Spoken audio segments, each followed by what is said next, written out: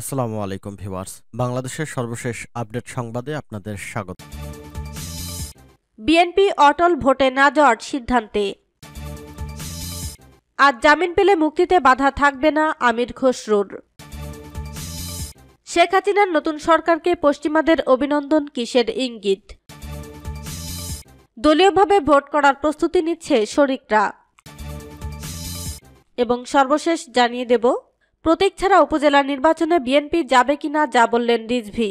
শুনছিলেন সংবাদ শিরোনাম, এখন বিস্তারিত।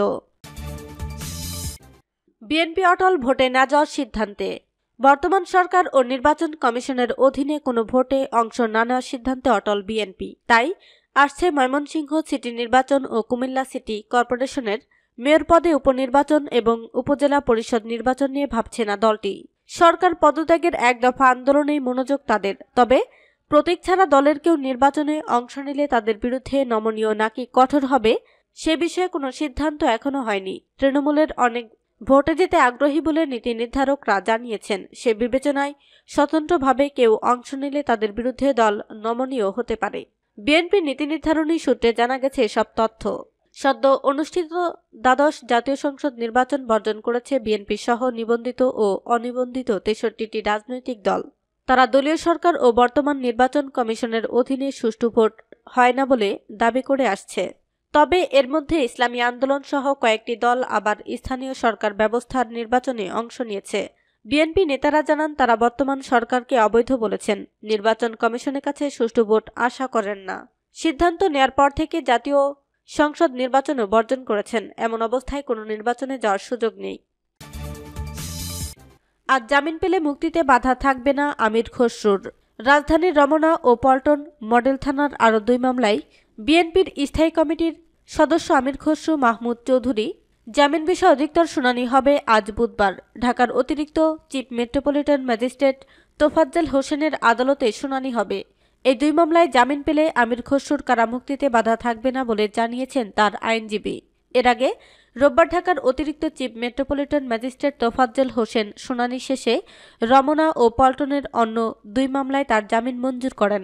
তার আগেও বৃহস্পতিবার ঢাকার অতিরিক্ত chief metropolitan magistrate Tofazzal Hossain Ramna থানার দুই ও পল্টন মডেল থানার দুই মামলায় শুনানি শেষে দশ হাজার টাকা মুসলেকায় তার জামিন মঞ্জুর করেন। সতেরো জানুয়ারি পল্টন মডেল থানার পৃথক দুই মামলায় দশ হাজার টাকা মুসলেকায় তার জামিন মঞ্জুর করা হয়। সব মিলিয়ে দশ মামলার মধ্যে আট মামলায় তার জামিন মঞ্জুর করেন আদালত।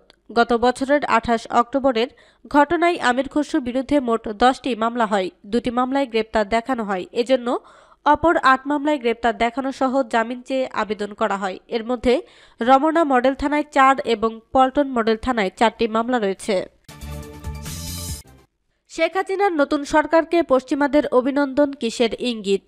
বাংলাদেশের দ্বাদশ জাতীয় সংসদ নির্বাচনের গ্রহণযোগ্যতা নিয়ে প্রশ্ন তুলেছিল যুক্তরাষ্ট্র।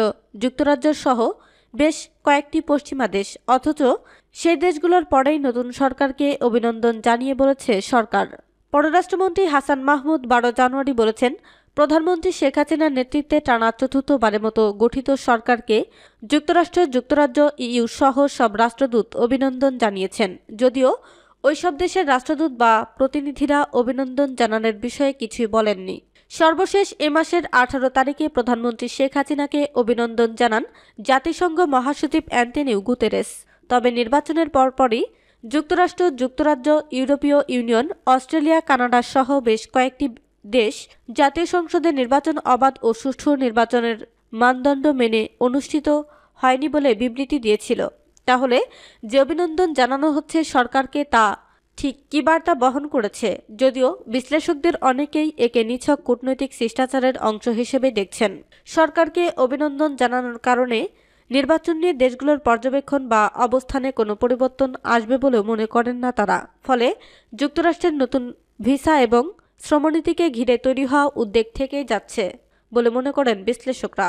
বাংলাদেশের রাজনৈতিক পরিস্থিতি এবং নির্বাচন নিয়ে গত বছরের মাঝামাঝি সময় থেকেই যুক্তরাষ্ট্র, যুক্তরাজ্য, অস্ট্রেলিয়া এবং ইউরোপীয় ইউনিয়নকে বেশ সরব দেখা যাচ্ছিল। কিন্তু সব দলের অংশগ্রহণে একটি অবাধ, সুষ্ঠু ও প্রতিদ্বন্দ্বিতাপূর্ণ নির্বাচন অনুষ্ঠানে তাগিদ দিয়ে আসছিল তারা। কিন্তু তাদের এ দাবি উপেক্ষা করে বিএনপি ও তাদের সমমনা দলগুলোকে বাদ দিয়েই চলতি বছরের সাতই জানুয়ারি বাংলাদেশের দ্বাদশ জাতীয় সংসদ নির্বাচন অনুষ্ঠিত হয়। নির্বাচনে নিরঙ্কুশ বিজয় অর্জন করে টানা চতুর্থ মেয়াদে ক্ষমতায় আসে আওয়ামী লীগ। নির্বাচনের পরদিনই চীন, রাশিয়া, ভারতসহ অনেক দেশ আওয়ামী লীগ সভানেত্রী ও প্রধানমন্ত্রী শেখ হাসিনাকে অভিনন্দন জানায়। দলীয়ভাবে ভোট করার প্রস্তুতি নিচ্ছে শরিকরা আসন্ন স্থানীয় সরকার নির্বাচনগুলো উন্মুক্ত রাখার সিদ্ধান্ত নিয়েছে আওয়ামী লীগ।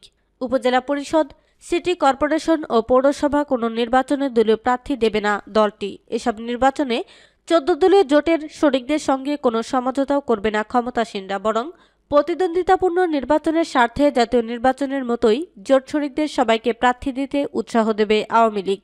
জোট শরিকরাও নির্বাচনগুলোতে নিজেদের মতো আলাদাভাবে অংশগ্রহণের প্রস্তুতি শুরু করেছে। জানতে চাইলে জাতীয় সমাজতান্ত্রিক দল জাসদের সাধারণ সম্পাদক শিরিন আক্তার যুগান্তরকে বলেন, জাতীয় সরকার নির্বাচন সাধারণত জোটগতভাবে করা হয় না। এখানে আওয়ামী লীগ তাদের দলীয় সিদ্ধান্ত নিয়েছে। দলীয় প্রতীক দেওয়ার পেছনে একটা কারণ ছিল এখন হয়তো ওনারা মনে করছেন সেটা নেই। তিনি আরও বলেন, আমরা উপজেলার নির্বাচন আমাদের দলীয় মনোনয়নেই করেছি। সামনের দিনে কি করব সেটা দলীয় ফোরামে বসে আলোচনা করে সিদ্ধান্ত নিতে হবে। আমরা কিছুদিনের মধ্যেই বসবো। সেখানে আলাপ আলোচনা করে আমরা সিদ্ধান্ত নেব। জাতীয় পার্টির জেপির মহাসচিব শহীদুল ইসলাম যুগান্তরকে বলেন, আমাদের দলের সিদ্ধান্ত হলো আমরা নির্বাচনে অংশ নেব। যেখানে যেখানে আমাদের যোগ্য প্রার্থী আছে, সেখানে উপজেলা পরিষদ নির্বাচনে আমরা প্রার্থী দেব। আমরা আশা করি নির্বাচন অবাধ, সুষ্ঠু ও নিরপেক্ষ হবে। তিনি আরও বলেন, এখানে যেহেতু আওয়ামী লীগ নির্বাচন উন্মুক্ত রাখছে, ফলে জোটবদ্ধ নির্বাচনের বিষয় তো আর থাকছে না। প্রতীক ছাড়া উপজেলার নির্বাচনে বিএনপি যাবে কিনা যা বললেন রিজভি। প্রতীক ছাড়া উপজেলার নির্বাচন হলে বিএনপি অংশ নেবে কিনা, এমন প্রশ্নের জবাব দিয়েছেন দলটির সিনিয়র যুগ্ম মহাসচিব রুহুল কবি রিজভি। তিনি বলেছেন, আমরা বরাবরই বলি শেখ হাসিনার অধীনে নির্বাচনের ধরন সবাই দেখছেন বা জানেন। দুই হাজার চোদ্দ ও দুই হাজার আঠারো সালের নির্বাচনেও প্রমাণিত হয়েছে, শেখ হাসিনা তো জনগণের ভোটাধিকারে বিশ্বাস করে না। তিনি প্রভুদের সমর্থন দিয়ে একতরফা তামাশার নির্বাচন করেছে। বিএনপি এখন পর্যন্ত যে সিদ্ধান্ত নিয়েছে এই সরকারের অধীনে কোনো নির্বাচনে অংশ নেবে না। দলের নীতি নির্ধারকরা পরবর্তী কোনো সিদ্ধান্ত নিলে দেবেন। অদ্যাবধি বিএনপির কোনো নির্বাচনে যাবে না।